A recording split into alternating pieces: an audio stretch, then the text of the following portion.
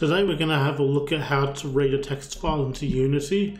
This can be really useful, for example, for getting a list of non-player character names and then applying those names to characters. You could use this for a whole range of things from reading in stats, but the good thing about it is it allows you to make these plain, easy files. It also works with a CSV file if that's what you'd rather. If you want to go to the next level, you can use an XML, but I would use an XML reader for that rather than this. Now let's get going and have a look how to do this. So the first thing you'll need is a text file. And you just want to put some names in this text file and put enter after them. Don't press enter after the very last one, otherwise you'll get a blank entry. So if I pushed enter here and went onto this line, the last entry would just be a blank name because I'm going to use the enter key to read when the next one is coming in. You could do this differently. For example, you could use commas. So let's save that. And the first thing you're going to need to do, make a folder for your scripts. Let's just make a script called read text file. And let's open this and put some code into it. The first thing we're going to do is we're going to add another library. We're going to use the system library because we're going to use text asset and string split. So the first thing here in way of references that we need, we'll need a reference to the text file that we're going to read in.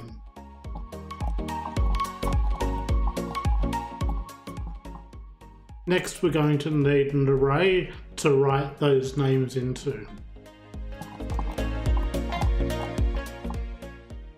So the first function we're going to need is to actually read the text file in. This is actually pretty simple. All you need to do is get your names array and then use the text dot split to read it in.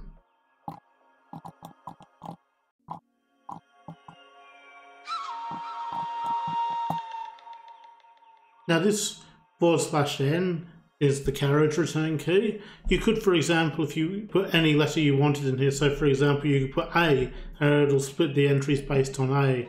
Another really common one that I use is the comma. And you can actually have two entries in here like that. You don't need both, but I'm going to leave both in case you want to read in the CSV file because they're called comma separated values and that works really well and you can export those from Excel. And that's all you need to do to read your text asset into your names array. We also need to call a read text asset in our start function and save this and we can go to Unity and test it works. I'm going to create an empty game object. I'm just going to call it code. And I always just round it out to zero because to me it feels weird having random numbers on it. I'm going to drag my text file onto it. Now the text file that I made, I'm going to put into the resources folder. While it works in other folders in the editor, when you compile, it really only works well if you have it in the resources folder.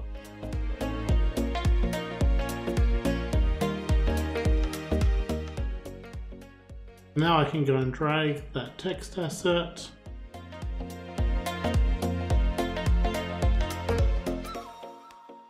Now let's hit play. As you can see, the names are filled into the array. So that's how you actually read the text file in, and that's that's all you're looking for. You can stop here, but I'm now going to do two more steps. First step I'm going to do is I'm going to change the actual game object's name to those names. I'm going to randomize the name that they get, and then I'm going to put the name above the character on the canvas. So let's go back to our script. To do this, we're going to need another variable up here. And we're going to have a list of objects that we want to name. Next up, let's write a function to apply the name to those objects. So the, way we'll do this is we'll make a for loop that'll loop through.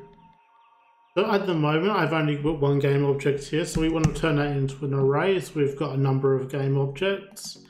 Then what we'll do is we'll use a for loop to go through each of those objects and then apply a name from the list of names.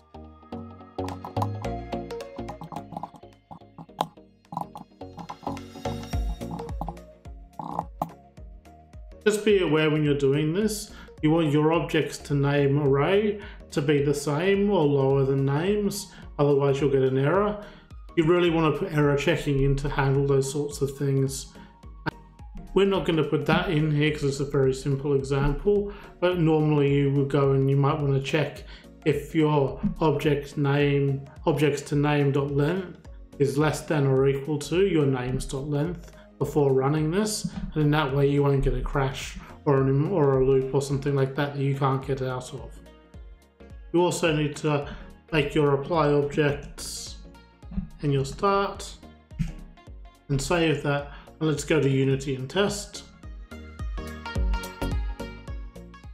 We now need to add our objects to this. I'm going to use the keypad up here to lock this so that it doesn't go away when I click on something else. I'm going to highlight my three astronauts and I'm going to pull them into my objects to name. And so now you can see the three astronauts there and I'm going to click the padlock to unlock that. Hit the play. And now you can see these objects have had their name changed.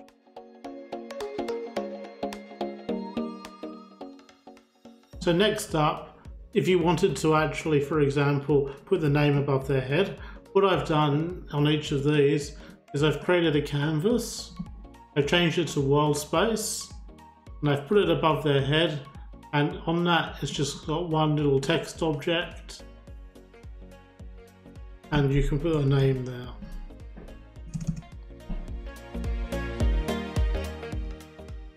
So what we're going to do next go back to our script.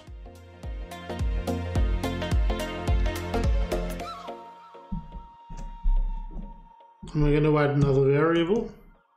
This time this variable is going to be for those text mesh pro objects so that we can apply the name there. And we'll also have to go up here and add the library for text mesh pro.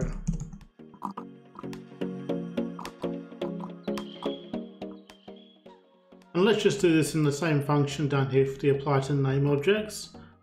Let's copy this for loop and just modify the for loop to work with our new. Let's just copy the for loop and we'll make a couple of changes to make it work with our new variable. So first of all, you want to change this to text.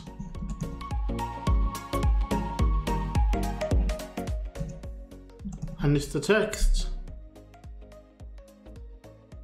we need to make sure that this is an array up here. So the other thing that we'll need to change here is we'll need to change this to text rather than name. Test this, go out to Unity. So click on your code, lock this over here, and let's drop our texts in. Let's unlock that and press play. Now you can see the names there. But the thing is, at the moment, every time you press play, they get the same names because they've been read off the array the same way. So the last thing I'm going to show you how to do is to get a random name and to get a random name where you're not reusing the same name twice. Let's go back to our script. And the way I recommend doing this is rather than like pulling a name out of the array and saying it's used, I would just shuffle the array on when you read it, and then you've got a different random array every time you read it in. Then, if you're using it to name players as the game goes on, you just create an index, which would work out where you are in the array. Since I'm only naming on start, I'm just going to shuffle the array and then it should give me a, ran a random number each time. So let's call it make a function to shuffle these. Also remember to call your function. You'll want to call your function before applying the name to the object. And a simple way of doing this is just run a for loop the number of times you want to shuffle and each time we're just going to swap two random elements in the array.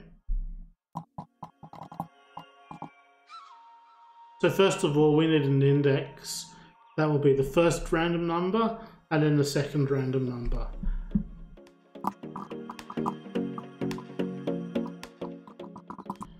You notice on this line I've put Unity Engine dot before random. That's because the system library also has its own random. And in this situation, because I'm using the system library, I need to tell, them, tell it which library to use. Normally you wouldn't need to do this. So now I've created the second index and I've made it equal to the first index. I'm just going to create a while loop until the random number finds an index which is different to that.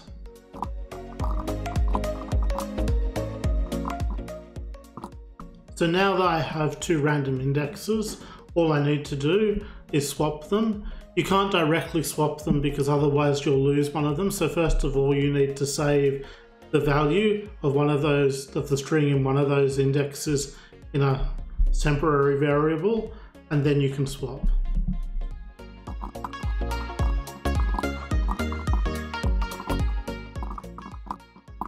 And that's all you need to do. So save that. Let's go back to Unity and see if it works. I'm just going to hit the play button and we got Fred, Joe and Kobe. I played again and this time we've got Sarah, Izzy and Kobe. I'll play once more.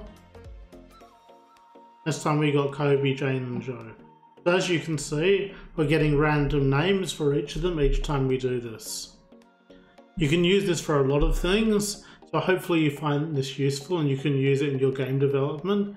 If you like this tutorial, please subscribe, like or comment. I'll always try and answer any comments of people are having problems with this.